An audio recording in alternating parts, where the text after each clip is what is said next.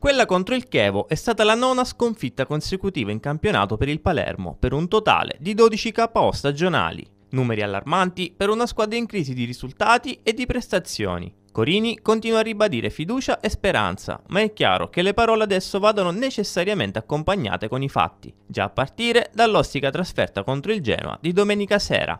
A bocca di falco, in settimana, Corini ha provato a mischiare le carte in termini di posizioni e interpreti. Il Genoa è un avversario complicato, ha dichiarato Corini, che in casa dà il meglio di sé. Dobbiamo fare qualsiasi cosa per portare a casa un risultato positivo. Si ripartirà certamente dal 3-4-2-1, per ovviare a una scarsa vena offensiva, il mister bresciano sta pensando di togliere una mezzala e inserire un trequartista. I dubbi in questo senso sono diversi, ma legati principalmente alle condizioni di Alessandro Diamanti. Corini, nella sua formazione titolare, ha provato sia lui che Sallai al fianco di Robin Quaison. In difesa, Goldaniga ha bisogno di recuperare sicurezza, ma nonostante i blackout della scorsa gara dovrebbe ritrovare comunque un posto da titolare. In panchina andrà invece probabilmente Iliemark, visto che il centrocampista ha praticamente le valigie pronte per il mercato di gennaio.